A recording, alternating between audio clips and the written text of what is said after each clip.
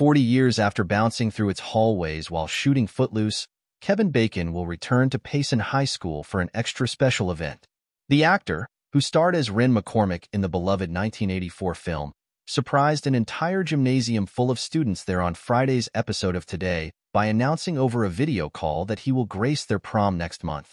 The sweet gesture comes after students urged Bacon online to attend their school's final prom before it moves locations at the end of the year. What's going on? Payson High School? How are you guys doing? Bacon asked as the Utah crowd, filled with teens dressed in Bacon costumes and waving huge cutouts of his head, cheered in excitement. I've been so impressed with everything that's been going on there with this crazy idea to get me to come back. Over the past year, the students of Payson High School have been asking Bacon to attend their big dance by recreating scenes from Footloose, performing its iconic choreography, and using the hashtag hashtag Bacon to Payson on social media.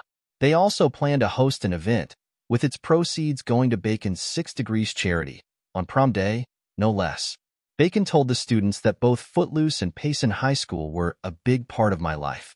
I've been amazed at the work that all of you have been putting into this, with the musical and the flash mobs and the recreations, and it hasn't gone unnoticed by me, he said.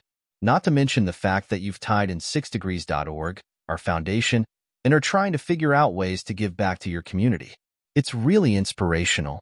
So, thank you, thank you, he continued, and I'm gonna come. I've gotta come. Bacon could be seen smiling as the crowd roared with excitement, so much so that the gymnasium floor began to shake. Thank you, guys, he said. Let's dance. Before ending the call, Bacon marveled at how much time has passed since Footloose was released with the Today hosts. I can't believe it's been 40 years, he said, but what are you gonna do? Footloose, which was filmed at Payson High School, followed New Kid Ren on his quest to throw a senior prom in a town where dancing had been banned. Now all that's left to do is for Bacon to get a tux, kick off his Sunday shoes, and cut footloose once again.